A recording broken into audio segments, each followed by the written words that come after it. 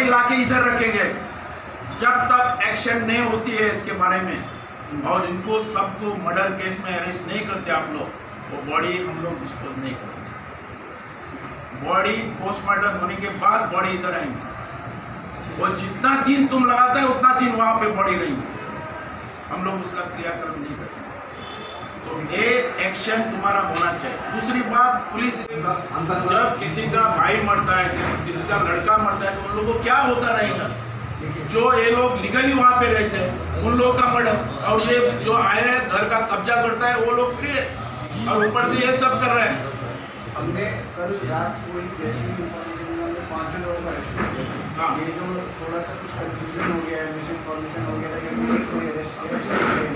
कि कोई कोई अरेस्ट किया ऐसा नहीं है। हमने सबको दिखा भी दिया, पाँचों का